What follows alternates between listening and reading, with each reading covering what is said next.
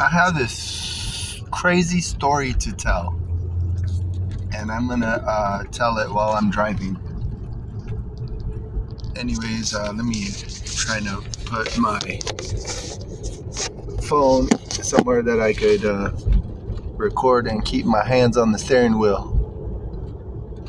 The story is really simple, but kind of screwed up. My friend yesterday at work well, she's not my friend.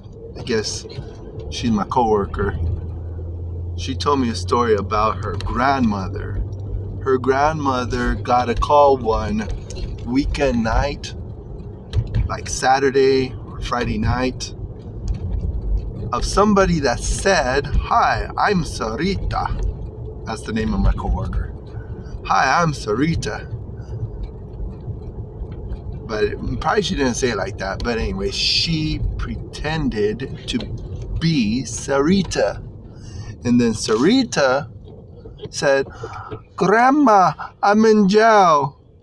I have a bad cold and I got in jail for drunk driving and I ran a stop sign and I'm in jail and I have a cold. I don't feel good and I need out. And apparently, someone else got on the phone and said, Yeah, we need $4,000 so she could get out of jail on the weekend. So, grandma sent $4,000 through the courier. And I think on YouTube, I can't say the courier's name. But, anyways, $4,000 cash in an envelope. So it was on the weekend. And then my friend Sarita called the courier and said, My grandma, she got scammed out of $4,000. And of course, my friend Sarita told the courier, which is a popular courier, that a movie uh, Castaway uh, was part of that courier crew so, to make a long story short, she called the courier and said, My grandma was scammed out of $4,000. It's in an envelope, and here's the tracking number. So, they tracked the envelope. And they said, Okay, we're going to.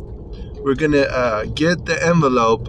We're going to intercept it, and after we intercept it, we'll get the money for you and send it. But the courier said, Oh, you send cash? $4,000 cash? Oh, we're going to have to send you a check after we get the envelope.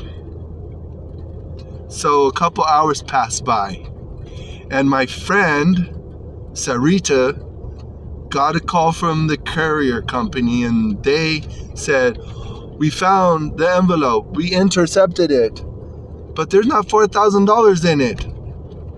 It's a bunch of envelopes inside of an envelope. So between the time that Sarita called the courier company and getting the envelope intercepted, they found it and it was already the cash was gone in exchange for some envelopes. I probably didn't tell the story very well, but the moral of the story is tell your grandma not to get scammed. And if your grandma's gonna think that you're in jail, then you better keep in touch with grandma.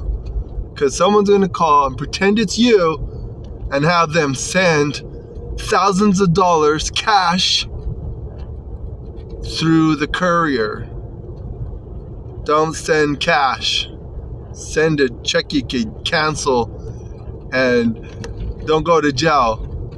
And please keep in touch with grandma and let her know that you're not not in any trouble.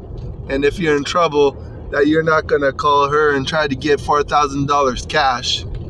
That's gonna get stolen.